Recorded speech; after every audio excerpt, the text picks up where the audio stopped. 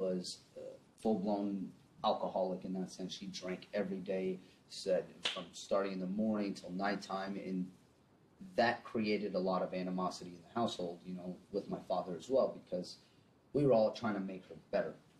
That kind of led up to 2008 when she went into a full seizure, like just the plate went flying five feet in the air, like she just seized. And so I'm freaking out. Everyone's freaking out. I'm not freaking out as much as everybody else. My dad's like running over, like.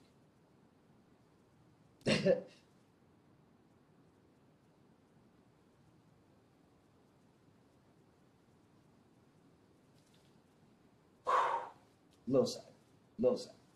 She came out of the hospital and she started doing wonderful. She she stopped drinking and everything like that. She she went a few months like zero drinking and stuff like that. Once again, as soon as my sister was mentioned in what she does, she would start up just like that again. I watched my mother die in front of me.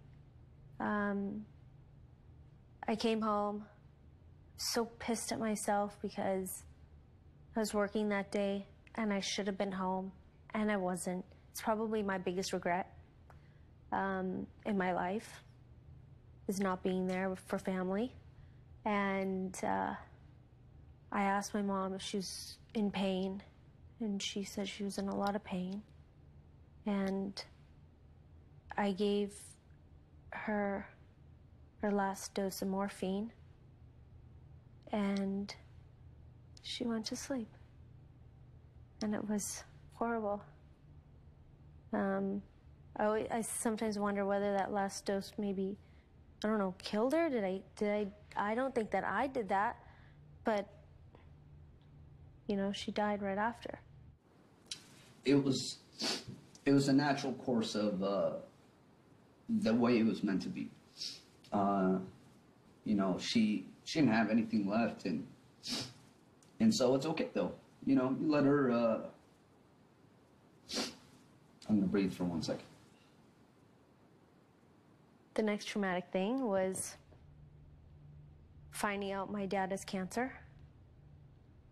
Last time I got to spend with my dad was in San Diego um, on the beach. And he came out and I told him, Oh, I'm going to have a couple other friends there, Dad. And he's like, That's fine. Um, I go, But they call me Sunny, Dad. Is that going to be okay or is that going to be weird? And he's like, No, I just want to spend time with you.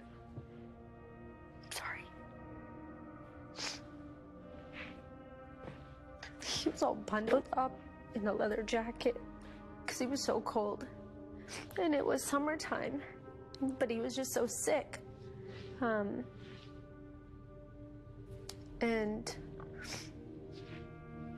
sorry. So he came out. We had a wonderful afternoon. And then he went in for surgery. And he had complications during surgery.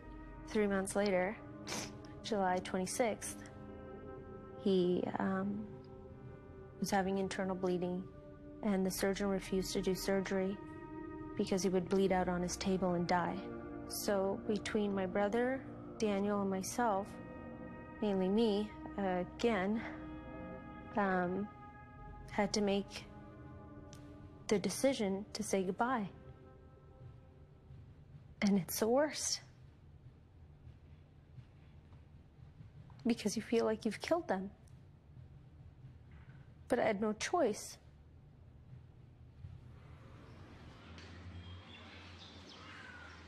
I scattered both uh, my parents' ashes in the Ganges, um, which then leads to the sea.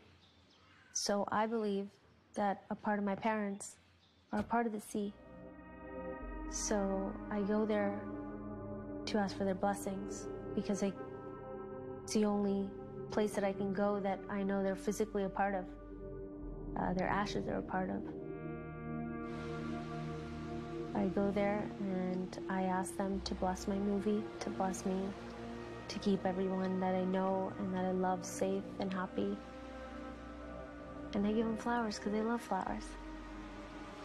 It's just that simple.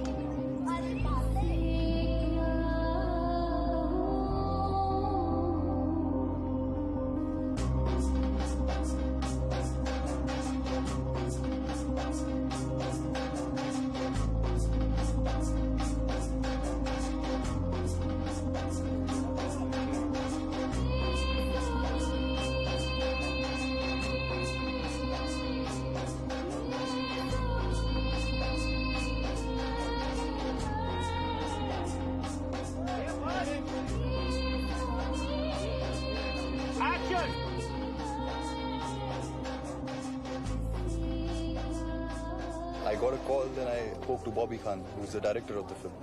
And, uh, you know, his first question to me was, Are you fine working with Sunny? So I said, uh, Yeah, why not? As in, I don't have a problem. He said, No, because most people have. See, my only restriction in films is uh, kissing on screen. That's one thing which uh, I think that's too intimate. It's something where you are sort of touching the souls. Kalk. Kalk.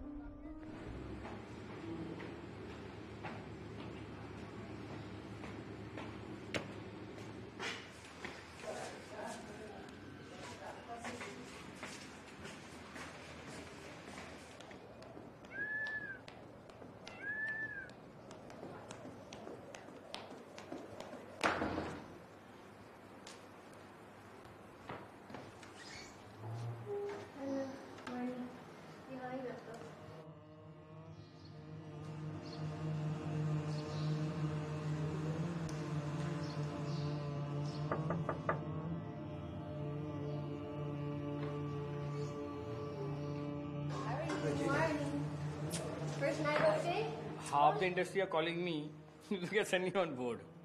Literally. That means he can carry a film on her own. They want to come here to Rajasthan where we're shooting with the bags of money. Can we sign? I said, no, you can't come. I fit in with my fans. My fans have been really supportive. My fans love me. They've been with me for the last 14 years of my life. They've watched me grow as a person. They've watched me grow as an actor, as an entertainer. But as far as the film fraternity goes, I'm not really part of it. I think that they're very curious. They all want to know who's this Sunny, what's she all about? She's the, you know, she's this, she's that, she's that, you know, every name under the sun they've called me, whatever it is. Um, but I'm not, I'm not a part of their group. Today is the whole princess look. I'm so excited. I won't be looking like this, but I'll be looking like a princess.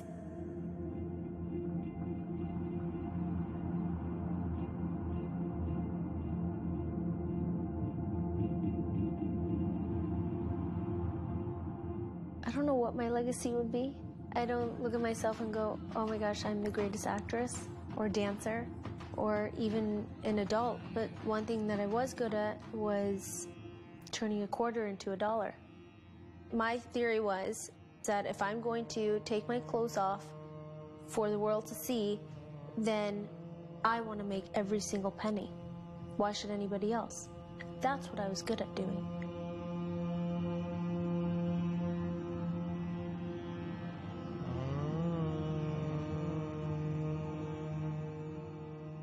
If one day I had a little girl or a little boy and they came home from school and said, Mommy, Daddy, this kid's from school told me who you are. Is it true? I, I think I would just say the truth. Mommy made some choices in life that were her choices and decisions that made sense to her, which were to be, if, if they brought up the idea of adult, um, which would be to you know? But I don't know. I'm so confused. I have no idea. I don't even know. The individual that I would raise and I don't know. I have no, this is such a hard question. I have no idea. I don't even know. I wouldn't even know where to begin, maybe. I don't know where to begin now. And I don't have, I don't even have a child.